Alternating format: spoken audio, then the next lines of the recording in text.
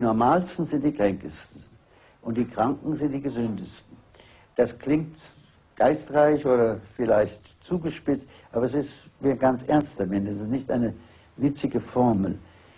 Der Mensch, der krank ist, der zeigt, dass bei ihm gewisse menschliche Dinge noch nicht so unterdrückt sind, dass sie in Konflikt kommen mit, der, mit den Mustern der Kultur und dass sie äh, dadurch, durch diese Friktion, Symptome erzeugen. Das Symptom ist ja wie der Schmerz nur ein Anzeigen, dass etwas nicht stimmt.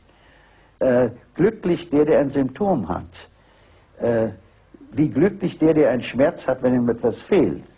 Wir wissen ja, wenn der Mensch keine Schmerzen empfinden würde, wäre er in einer sehr gefährlichen Lage.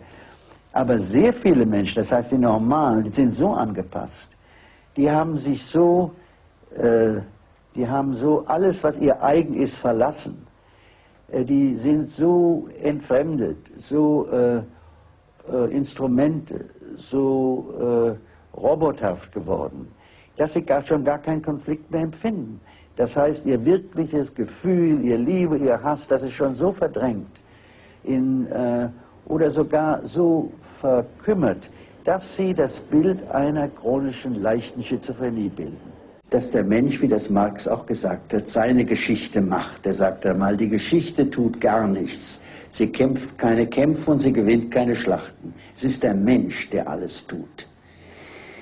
Äh, dieser Mensch aber wird beeinflusst von seiner Umgebung und zwar nicht nur im Sinne der französischen Aufklärungsphilosophie der Umgebung oberflächlich gesehen, sondern der Struktur der Gesellschaft, in der er lebt, die eine Tendenz hat, nämlich seine psychischen Energien so zu gestalten, dass der Mensch das gerne tut, was er tun muss, damit diese Gesellschaft in ihrer speziellen Form existieren kann.